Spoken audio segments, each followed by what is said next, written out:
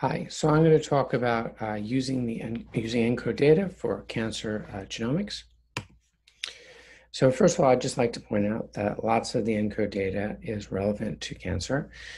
Many of the ENCODE cell lines, as you probably know, are associated are cancerous cell lines. For instance, HepG2, A549, MCF7, and so forth. And these often can be easily paired with a normal, and they give you a sense of the uh, oncogenic transformation.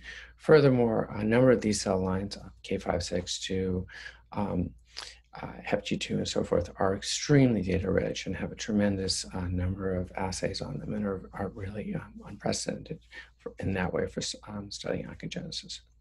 So I'm going to talk about using this data in four ways to look at cancer genomics. First, I'm going to talk about background mutation rate correction. Then I'm going to talk about studying network wiring, variant prioritization, and then looking at drivers of differential expression. So first of all, background mutation rate estimation. Uh, one of the main ways we find drivers in cancers is through looking at mutational recurrence within a cohort. Um, one of the problems, though, is that often this mutational recurrence can be confounded by genomic covariates such as replication timings. We have a lot more uh, mutations late replicating regions than early replicating regions. So if you look at recurrence, we'll, we might be fooled and think, for instance, this region is a, a driver region because it has a lot of mutations when it just simply has lots of mutations because it's late replicating. So we have to take this into account. Now, the and the um, there's the, the mutation rate is correlated with many different uh, types of genomic signals in addition to replication timing. For instance, it's also uh, um, correlated with open uh, chromatin. And ENCODE has, of course, a wealth of this genomic signal data. So we've shown how you can put a lot of this data together uh, into a model to estimate the background mutation rate. Uh, basically, we do principal components of all the uh, different types of ENCODE signal data, and then we use uh, these principal components to estimate the background mutation rate. And one of the main things we see is that we need lots of PCs, often 10, 20 PCs, to accurately estimate background mutation rate. And then, of course, we can look at the, the signals that really are driving these PCs. There are things, of course, like replication timing, but a lot of the histone mark data really also is very important for this estimation. So now what do we do with an accurate estimation of background mutation rate? Well, we can use that in a, a model to look at um, uh, recurrent mutations um, and to find drivers. Now, a simple model that doesn't do that would be, for instance, a binomial model, which assumes a constant rate of mutation across the genome. Uh, we're going to contrast things to this. We have two different models, a, a beta binomial model and a negative binomial model, that allow the uh, mutation rate to vary across the genomic bands, and this uh, mutation rate to vary with uh, genomic covariates, such as replication timing, histone mark data, and so forth. So what do we get when we look at this? Well, here's, for instance, the empirical distribution of mutations in genomic bins. Here's the simple binomial model. It obviously doesn't fit very well. And here's our correction model. You can see it fits uh, a bit better. And this is for the beta binomial. You can do the same thing for the negative binomial.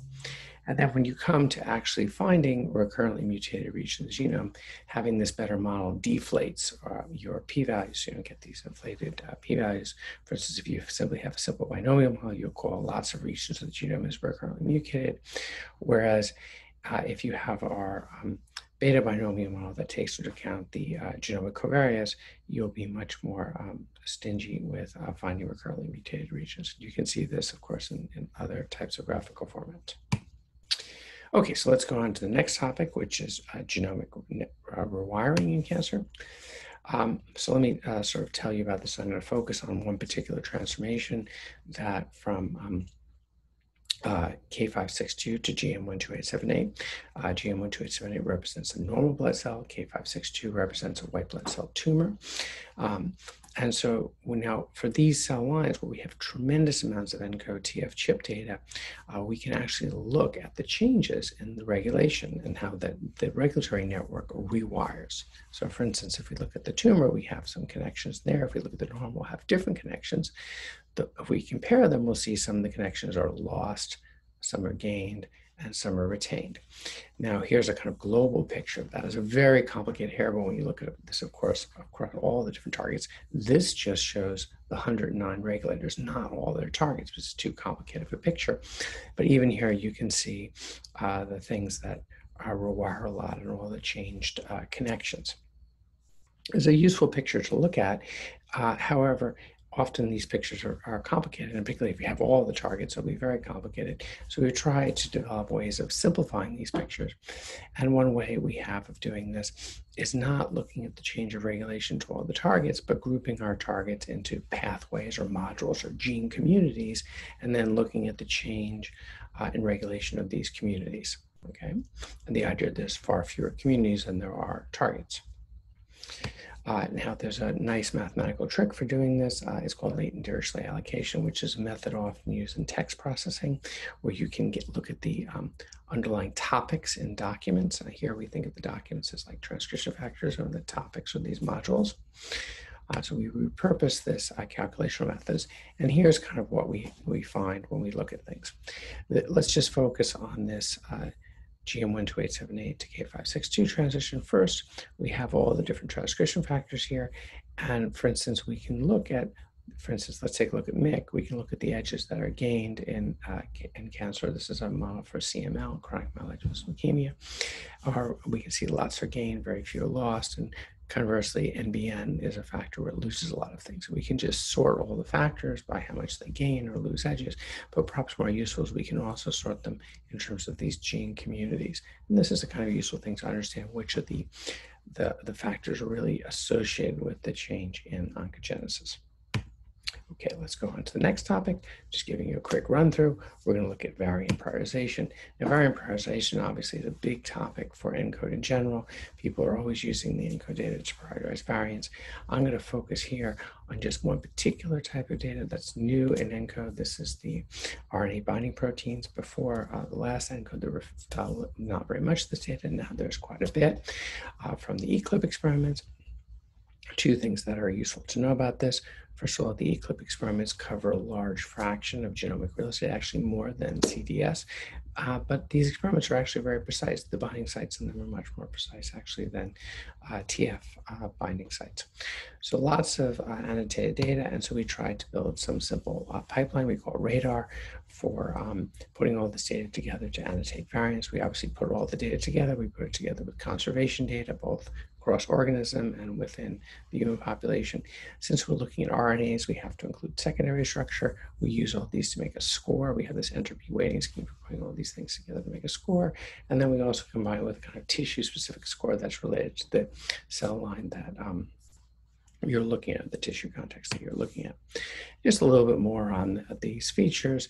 You can see that each of the binding protein sites is conserved really to a different degree, which really uh, highlights the fact of why you want to use uh, conservation.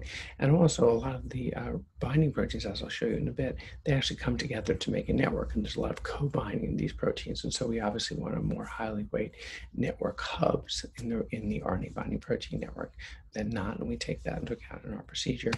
And briefly, we find that uh, our procedure gives higher scores uh, to, to COSMIC genes, known uh, cancer genes than not, uh, and also it tends to give uh, higher scores to recurrently mutated regions, for instance, in breast cancer than not, which gives us some confidence that the score is useful in a cancer context. And now to the last uh, topic, which is finding regulatory drivers of differential expression. So I've told you a second, a second ago in oncogenesis how you might have the actual regulatory connections between the TF and the target change, you know, rewiring. But you could also have a situation where the targets remain the same, but the uh, gene expression of the target genes changes a lot, okay? And here, what we want to do is find the TFs that are associated with the um, target genes that change most in cancer. So we use the TCGA data, which shows how genes change in cancer, and we use the ENCODE regulatory network to associate regulators with targets. Then we build a simple uh, regression model that tries to explain the target, uh, the change in gene expression from all the uh, regulators. We can find the regulators that are most highly weighted in this expression model and that's what we plot um, here. So we have all the different uh, regulators, we have all the different cancers, and this just shows these uh, regression coefficients, which ones get most highly weighted. And you can see that some factors really are associated with upregulation in cancer. MYC is very famous for being associated with that. And so then some have, are more differential. We can also do the same for RNA binding proteins and their network. And here we find that sub1 is the RNA binding protein that's most associated with upregulation in cancer. And it turns out you can also look at uh, survival curves, a well-known one for MYC. For instance, we have more active MYC, you tend to have differential survival. But you can see the same thing for sub-1 for the RNA binding proteins and also now to put the um, RNA binding proteins and the TFs together, we can build a, a, regulatory hierarchy just like we showed for the TFs. And here we find that the things at the top of the hierarchy, both the RNA and also the uh, TFs tend to uh, drive uh, gene expression the most. So here's the TFs and here's the RNA and here's the average correlation with uh, change in gene expression. There's a lot of there's a lot of crosstalk between the TF and RNA networks. And just to sort of highlight, know, here's MYC and sub1, and we just point out that these these can really act together uh, on the same genes, in fact, promoting transcription and also post-transcriptional regulation. Okay, so with that, I'm going to conclude on my four topics, and let me just go through them now in more detail. So what have I told you? I've told you how the ENCODE data is useful for cancer genomics. First way, it's useful for developing accurate models for background mutation rate. We've developed these uh, parametric models for doing this. One of the key things is we have to use lots of data, often 10, 20 different uh, principal components to get to accurately model uh, background mutation rate.